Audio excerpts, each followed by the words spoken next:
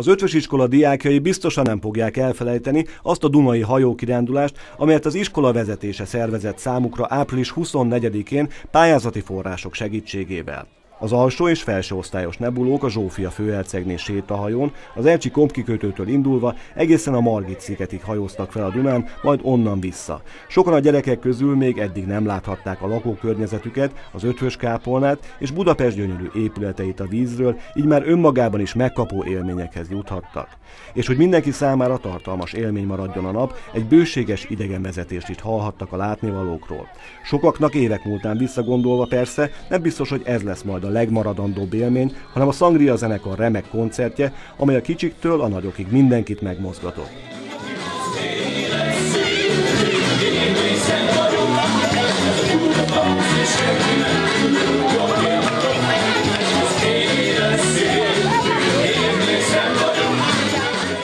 Délután négykor, a kiszálláskor még mindig szóltak a kellemes dallamok az együttes tolmácsolásában, amikor a szülők már a Dunaparton várták hazatérő csemetéiket.